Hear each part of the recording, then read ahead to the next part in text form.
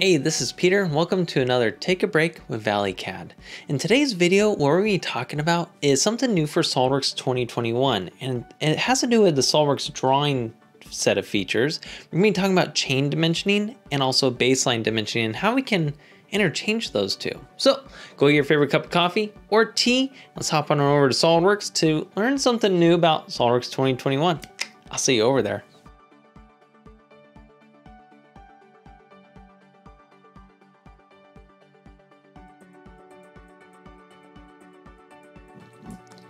Hey there, welcome to SOLIDWORKS. So I got a simple cube here, um, just to show you a little anatomy on it. What I did was I just simply came in with a simple Boss Base extrude, and it's just a simple uh, square that's made on my front plane, and I extruded it out so it's six inches all together. So it's just a simple square there. Then from there, I came in with the hole wizard and I did a 3 8 uh, depth blind hole there.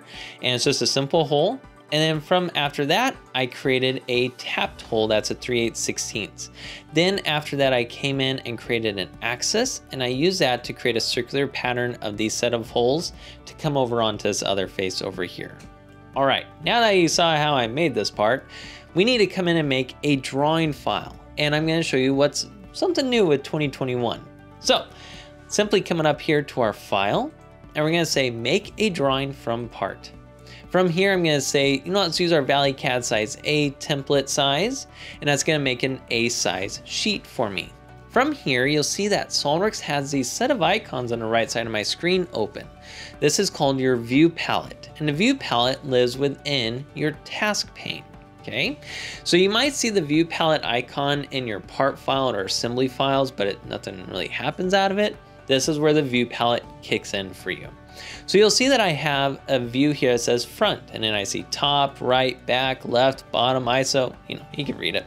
But I'm gonna say, I wanna drop in my front view. So with it selected, drag it over and let go. And then from there, SOLIDWORKS will automatically drop in your front view for you. Now watch this. If I move my cursor to the right, guess what I get now? I get a right side view. Then if I move my cursor kind of at a 45 degree angle up, it'll create an isometric view for me. So without moving my cursor though, I'm just gonna simply right click because I see that icon next to my cursor now. And that's saying, hey, do you confirm this? I'll say yes, and that gets me out of the command like that. All right, so you'll also see here that, you know, my my sheet looks good, but these views look a little small. I want them a little bit larger.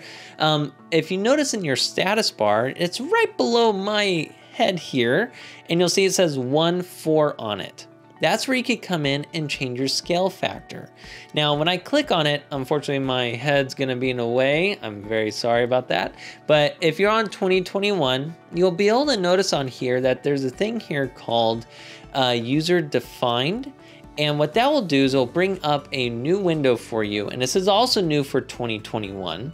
And you could change the scale factor here. So let's say I want this to be a scale of one to three. With that, it will then change all the views so that we are now at a scale of one to three. All right, so you also notice as I dropped in my views, that SOLIDWORKS came in and dropped in this 3 8 16 tapped hole. That's awesome, it's automatically dropping in annotations for me. But I'd rather show a hole call out that gives a little more information. You know, I wanna see, hey, what type of hole do I need to drill out in order to accommodate this type of tap? So what I wanna do is simply delete that dimension or note call out. And what I wanna do is come up here to where it says hole call out. And by the way, I'm under my annotation tab and you'll see hole call out there. Clicking on that, SOLIDWORKS is gonna allow you to come in and if you have a feature that's a hole wizard feature, if I come over and click on that circle, SOLIDWORKS will come in and it will automatically calculate the quantity for me. So you'll see it says times 10 on there. And this 0.313, the depth of 0.938, that is SOLIDWORKS' way of saying, hey, you need this size drill bit to create your first hole so that way you could come in with a 3 8 16 unified coarse thread tap. Pretty awesome, huh? So that's a really cool way. That's not new for 2021, but it's it's just such a cool thing. I always love being able to show that to people. So what I do want to show you that's new for 2021 as well is how to come in with different dimensioning schemes. And one of the newest ones was chain dimensioning. Now, chain dimensioning is something that you might have done on your own multiple times already. And chain dimensioning is where you come in, you start on an edge, and you click on, like for instance, a circle here. Then what you'll do next is you'll click on this circle that you just dimensioned, and you'll click on the one above it. And then you'll come in and do the next one. This is called chain dimensioning. You are linking each component to each other. All right, so SOLIDWORKS now made this to where it's in one command. So it can actually speed up your modeling here, or your dimensioning, I should say. So with, I'm just gonna, I just simply deleted those guys. What I wanna do is come back up to Smart Dimension, but instead of clicking on Smart Dimension, I'm gonna click on the drop down arrow. If you, if you don't know this yet, SOLIDWORKS actually has multiple other dimensioning schemes here. One of my favorite ones that I use is actually ordinate dimensioning. If we have time, maybe I'll show that to you guys here in this video as well. So the one that I do want to talk about is chain dimensioning. Clicking on this, if I come now over here and I click on this bottom edge, you'll notice that SOLIDWORKS highlights it, but it doesn't do anything yet. What it's technically doing is saying, hey, here's my datum edge. I want to base things off from this. So now if I come up and I click on this circle here, SOLIDWORKS will drop in that dimension. Then if I come up to the next one, it's going to drop in the next set. As, as you notice, it's coming from the previous hole. And I just keep moving up the line like so, and it'll drop in a chain dimensioning all the way to the top. Pretty awesome, huh? So, and as you can see here, it is a little cramped. It, you know, I might have to make my view a little bit larger and so forth, but you know, you get the point here with chain dimensioning. And you'll notice that these guys are all linked to each other, meaning that, that they will always move together. SOLIDWORKS automatically spaced them out for me.